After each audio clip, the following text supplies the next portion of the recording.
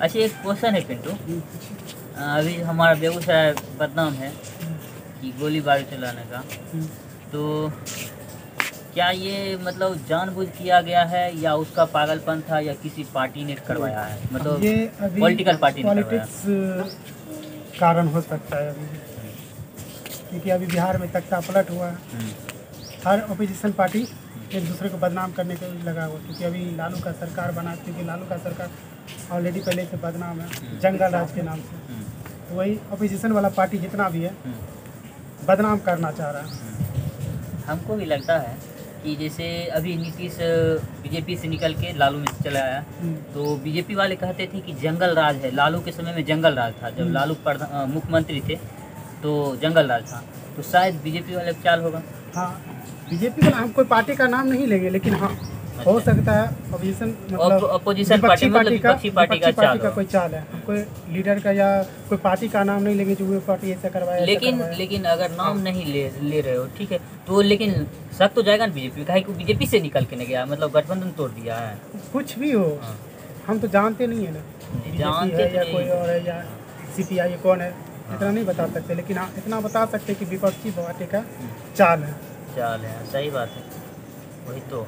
सोचिए तमंचा लेके एकदम घूमना बाइक पे ठोक देना मतलब क्या कहें?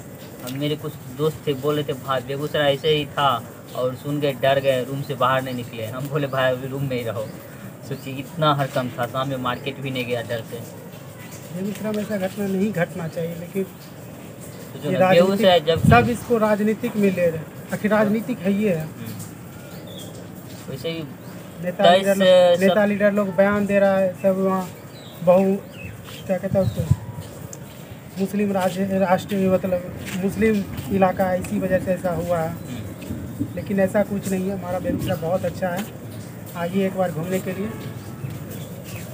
ऐसा कुछ नहीं है। बस नेता लोग अपना अपना पल्ला जा रहे हैं और पुलिस लोग भी अपने काम से बचना चाह रहे हैं। वही तो सच बोल रहा इस चीज़ का कहना सही है। पुलिस भी क्या करे? किसी को अब जो सच में था उसको पकड़ा है। या कि या जो मतलब ऐसे ही मैसेज कर रहा था अपने, पता नहीं, झूठ को पकड़ा।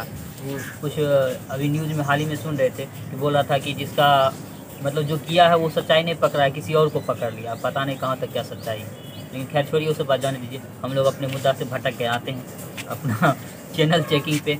तो फ़िलहाल अभी पता नहीं, आज मौसम ख़राब है इसीलिए और एक बजे का टाइम था तो कोई नहीं जुड़े सोचते हैं, आज का यहीं पे एंड करते हैं इसको। क्या?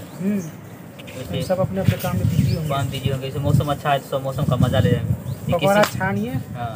मस्त किसी दिन और आते हैं लाइफ अच्छे से। सोचते हैं